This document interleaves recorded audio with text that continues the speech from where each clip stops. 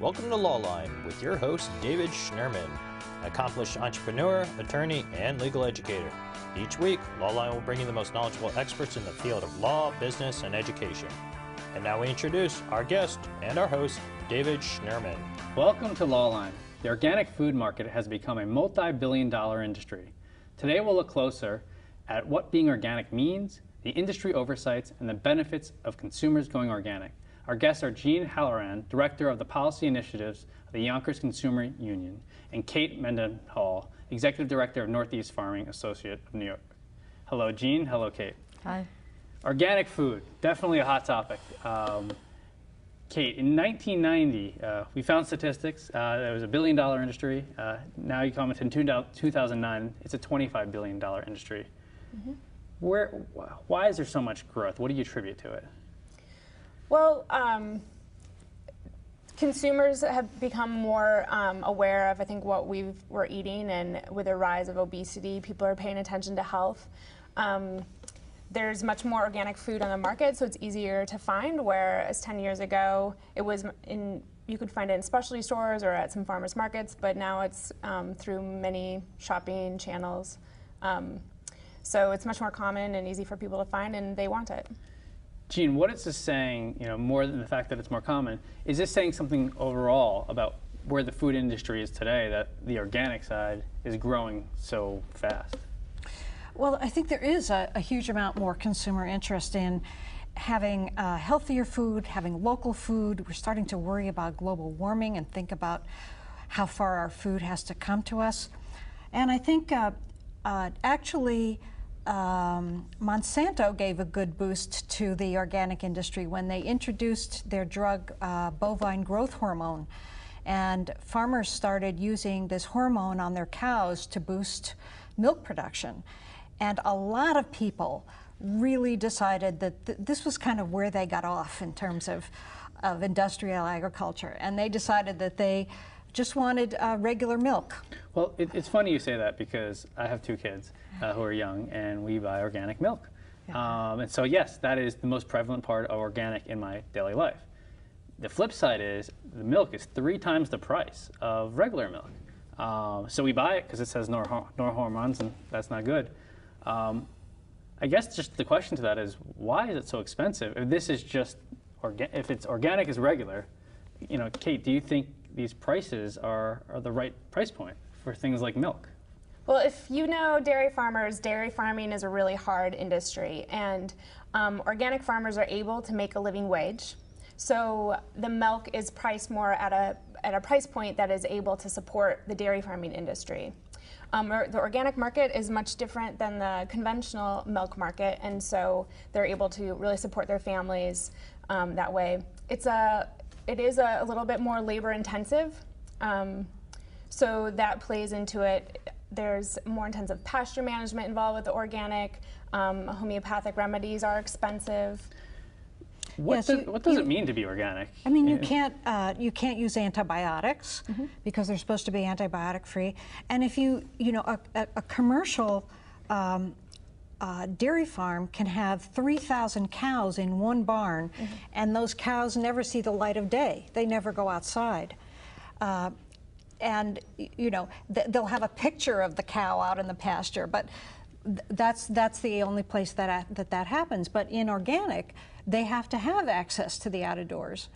So the, the, bigger question is, and to me, who's somebody who buys organic um, mm -hmm. and goes to farmer farmers market markets, I guess my question is, I don't know if I'm following just what people are telling me to do because that's what it is, or is there a problem in the food industry? Is there an overall problem in the food industry, or is this just a new trend that's breaking out? You know, what's your, you know, is there a problem in the food industry, Kate? Yes.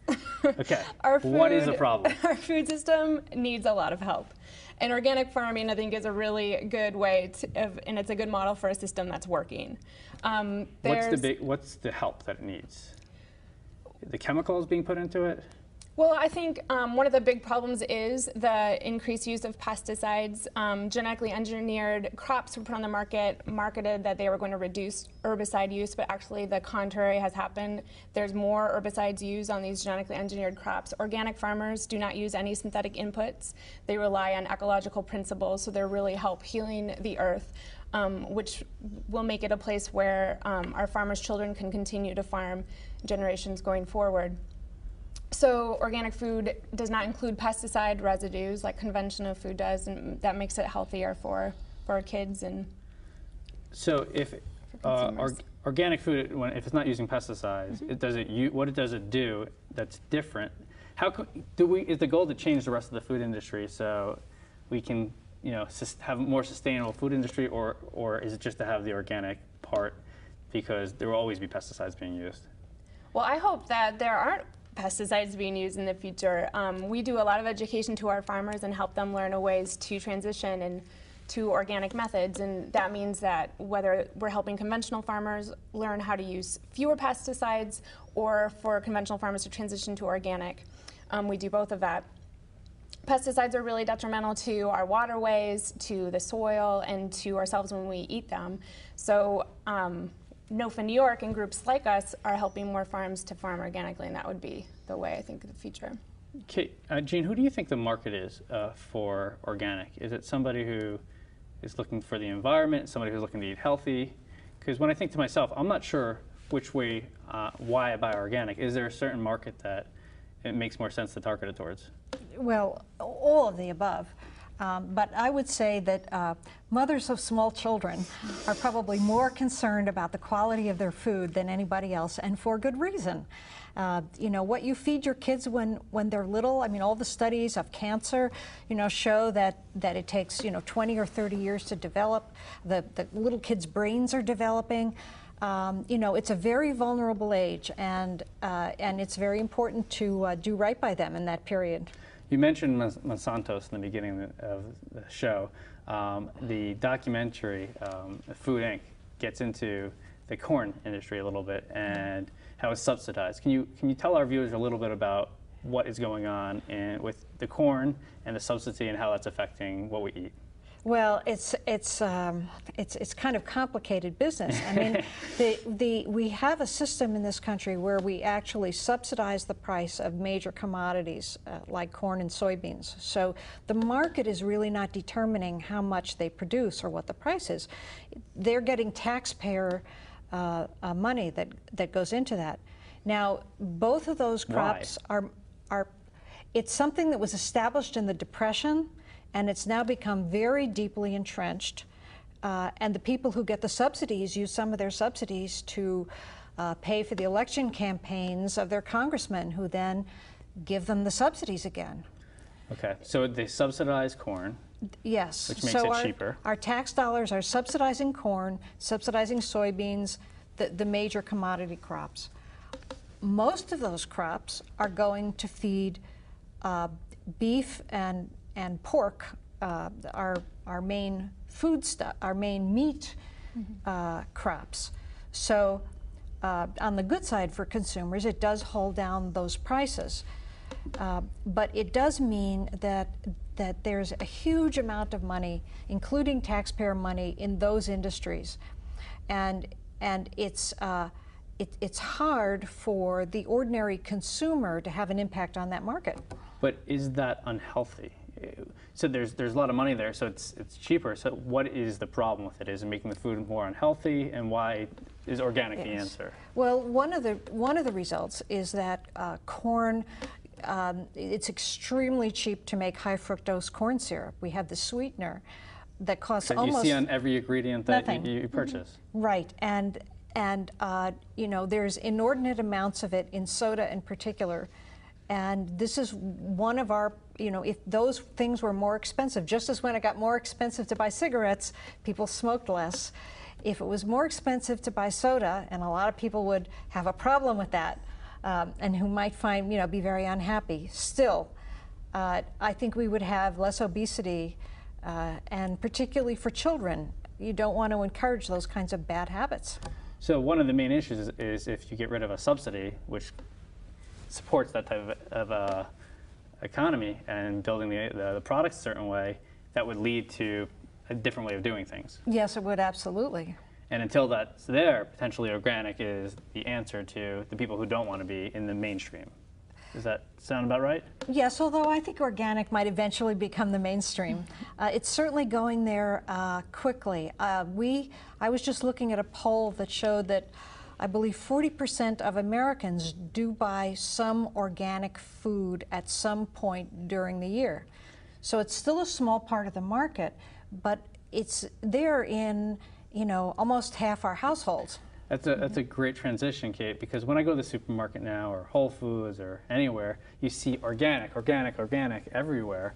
Um, so the question is, what are you, when you go to the supermarket and you're buying organic, what is it, like what products are organic? What does that even mean when there's so many different types of products that can be organic? Um, How do you define that? Well, anything that's labeled organic um, is certified organic, so it goes through a USDA accredited certification agency. Um, NOFA New York has a certification agency that certifies most of the operations in New York State. We now certify over 600 farms and processors. So that, that means that the farmers or food processors have to go through a very rigorous set of regulations that are um, set by the National Organic Program, which is run out of the U.S. Department of Agriculture. Is any product pretty much have organic uh, point to it? Because I see it from not only products, but hair care items and paint.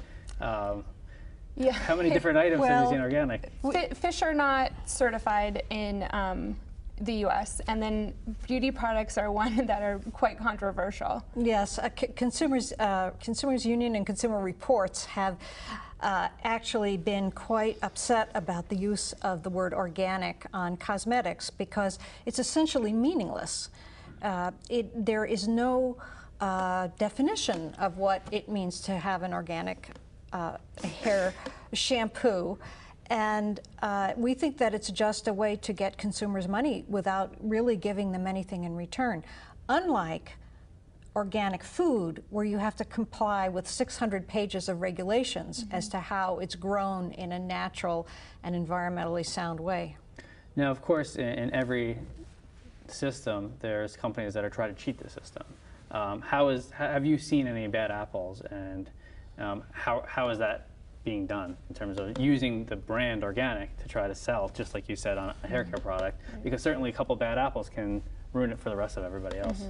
Well, like any industry that grows, there are companies who want to get in on um, a new emerging market, and that has happened somewhat in organic. But um, we do have watchdogs making sure that what is organic is organic and following the same integrity. And Consumers Union is a great um, champion for, for that in the U.S.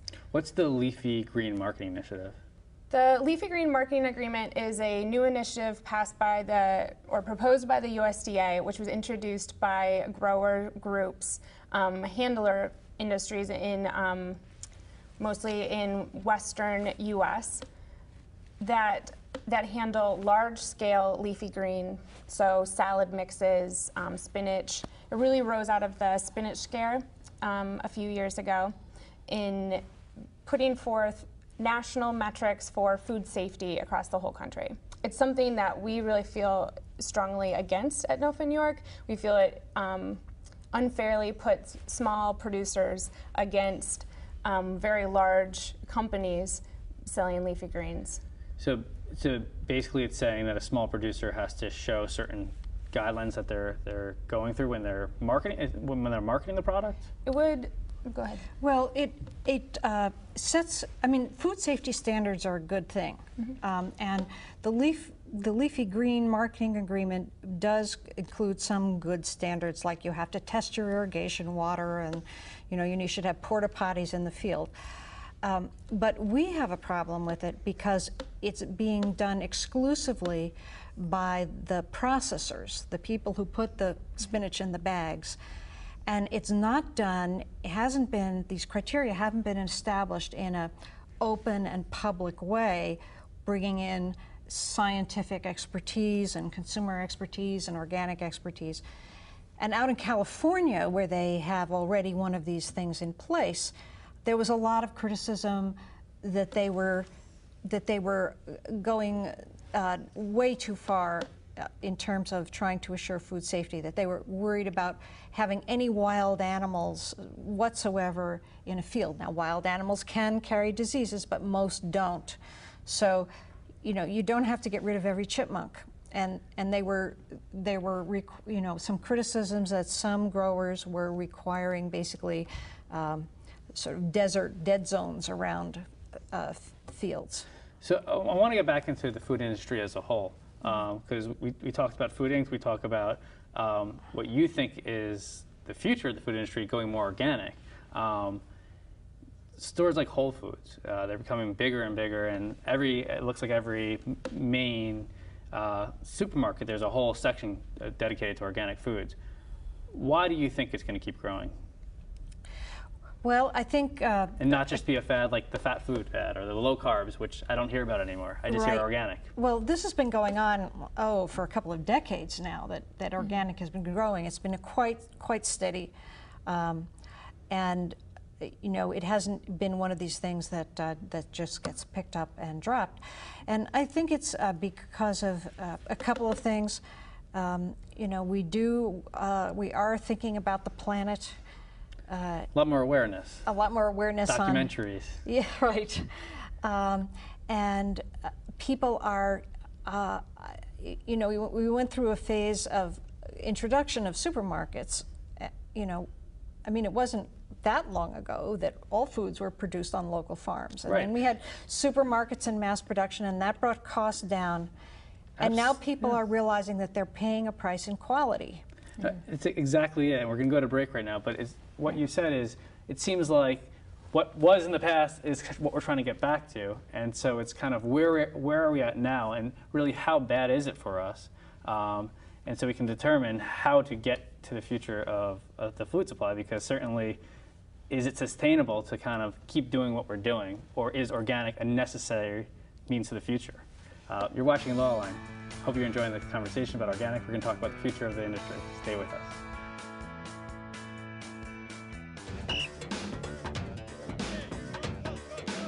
Doctors say it's hard telling their patients that they've lost their sight to glaucoma, when with regular eye exams and medication, it could have been treated. Once sight is lost to glaucoma, it can't be restored. Researchers are working on a cure, the only hope for millions at risk for glaucoma. Protect your sight. Call 1 800 437 2423 for a free brochure from National Glaucoma Research. I feel my job is extremely important, and knowing that you've helped people out on the ground, the firefighters in particular, just the fact that they see us up there making an effort gives them a lot of comfort. In my civilian job, I fly people from point A to point B, but in the Air Force Reserve, I get to save lives. I'm Major Mark Stewart, and very proud to be a member of the Air Force Reserve.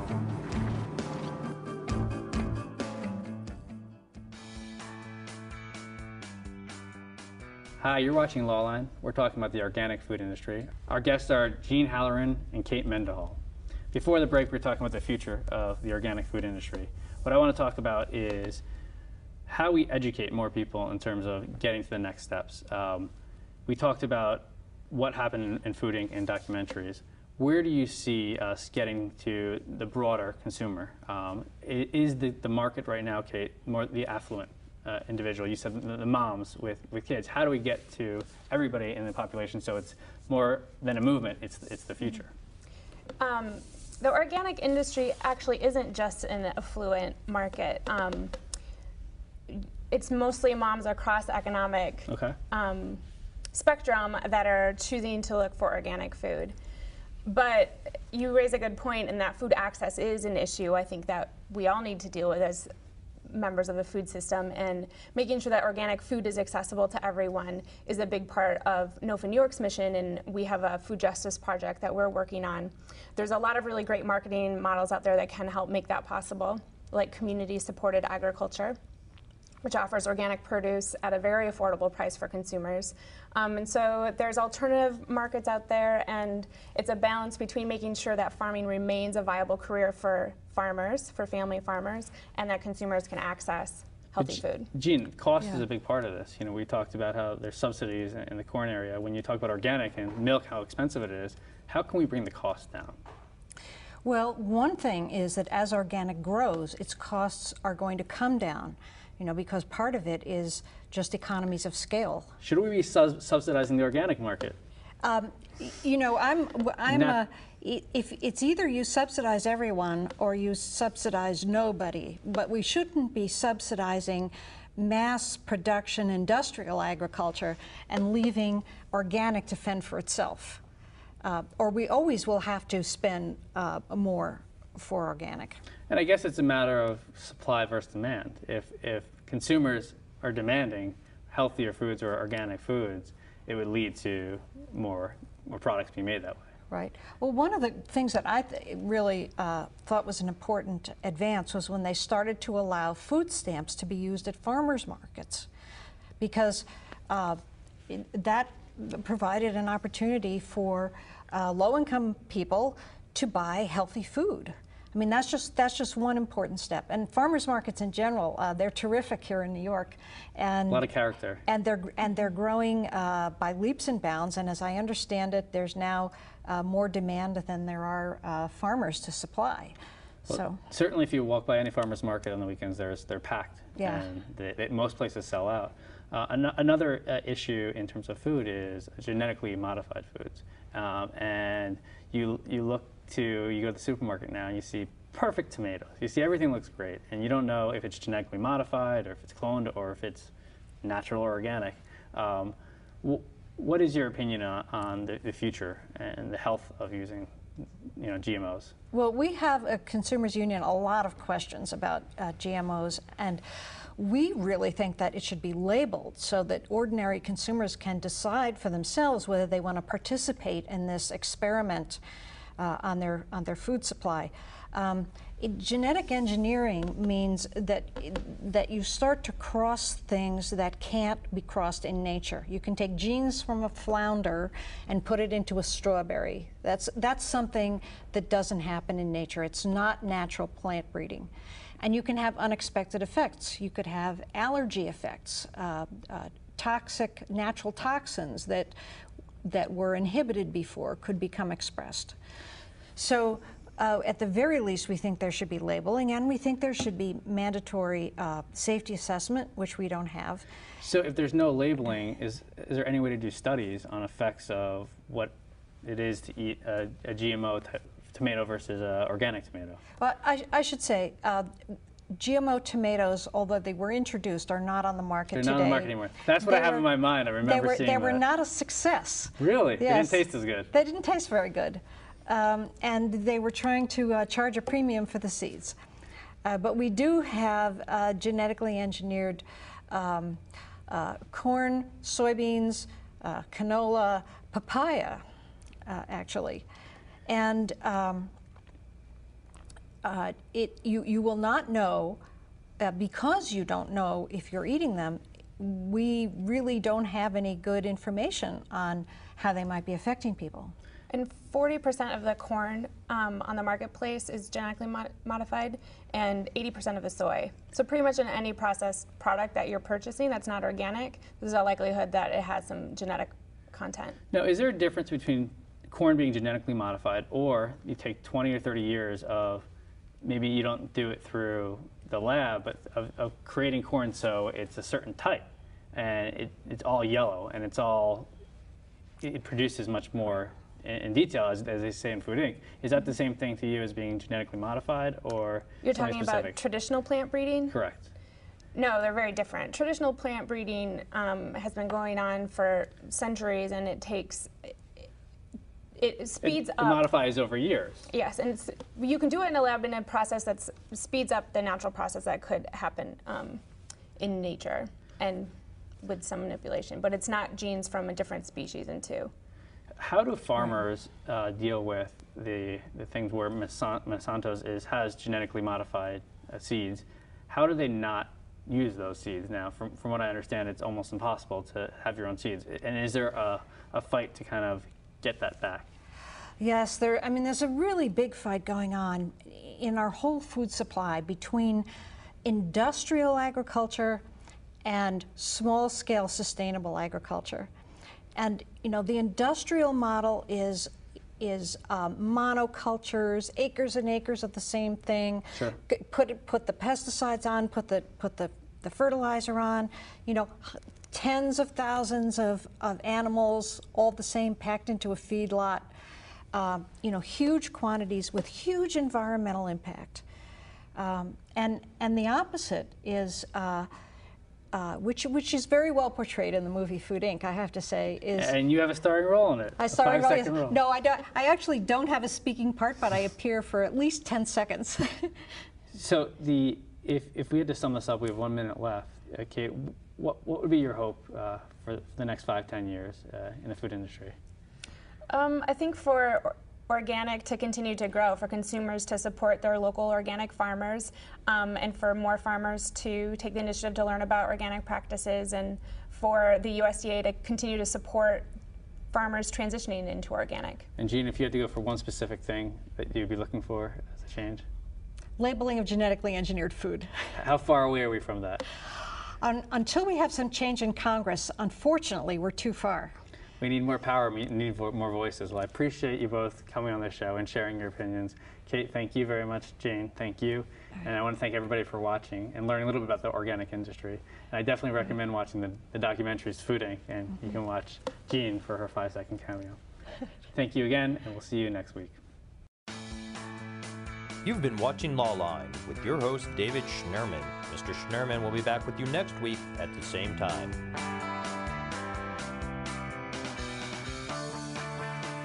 If you have any questions about this week's program, please send an email to info at lawline.com.